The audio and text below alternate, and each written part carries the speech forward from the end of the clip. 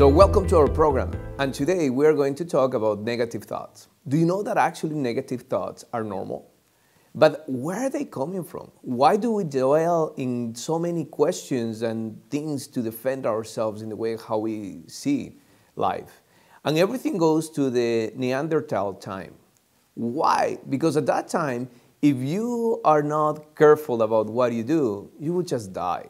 So you need to learn of the bad things, the bad things that happen to you. You need to learn and you need to keep thinking and thinking on how to defend yourself.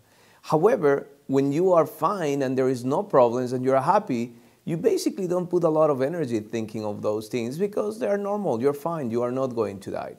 Now, the problem is we are not anymore in the Neanderthal time. Now we are in the 21st century where anything that can happen to us in the normal conditions, there are not things where you are going to die or you are going to, I don't know, something may happen to you.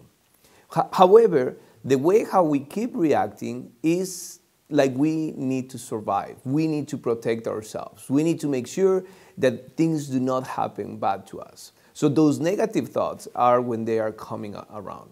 Now, what are the, res- the results of the negative thoughts? Number one is insecurity. I mean, how many of us are feeling insecure about ourselves? Especially when you're a teenager, you are so afraid about everything. Number two is you waste time.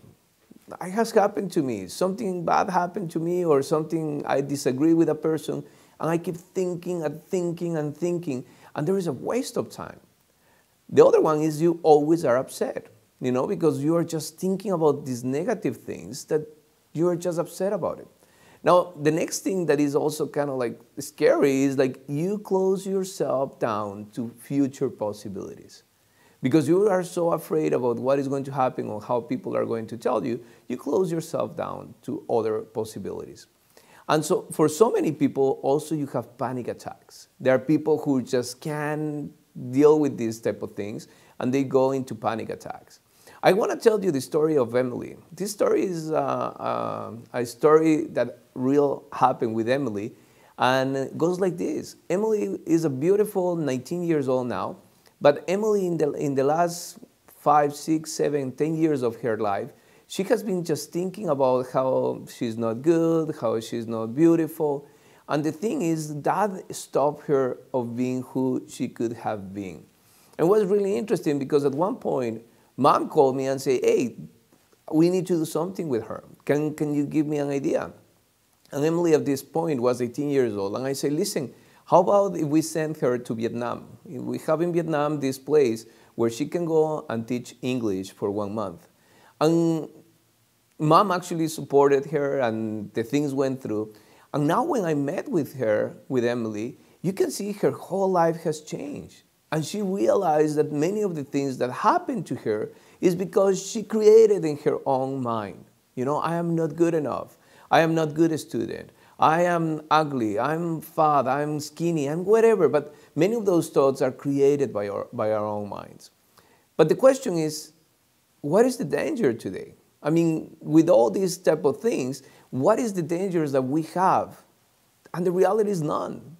Nothing is going to take your life away. So the question is, do we give a lot of energy to these kind of thoughts? And how to get rid of these thoughts? Well, now I'm going to tell you some points that I think will help you out. Number one is to remember that negative thoughts are not bad. Negative thoughts are not bad. However, what is bad is when you are dwelling on them, when you are thinking and thinking and thinking all the time. Just think about these negative thoughts and find a way how to get rid of them. Number two is write your negative thoughts down. You know what is happening, just write it down. And after that, you can burn them or you can just destroy them, throw into the trash, and make sure that that sense of doing that act will help you out. Number three is stop complaining. Many of us just complain about things. And what is interesting is I want to invite you to analyze when something bad happens to you, how many people knows about what just has happened to you. And I can tell you that sometimes you may be surprised because we go here and there just complaining and saying how sorry you feel or how upset you are because your parents have done this or, or your girlfriend done something to you. And these negative thoughts just keep going. The other thing that is important is focus on the good things. And for this is actually an exercise that I want to invite you to do. Write things down about the good things that has happened in your life. For example, today I'm filming, I'm alive, and that is something beautiful.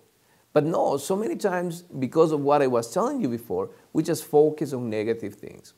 The other thing is use technology. You know, take a picture and put a, a, a screenshot in your phone and says, hey, you're beautiful. God loves you, or, or, or, something in that sense that will help you that every time that you will see something like that, you will actually be happy. The next one is don't react. We had a video about self control. Don't react. Instead of reacting, ask the questions. Is this a problem? That, is this problem that bad?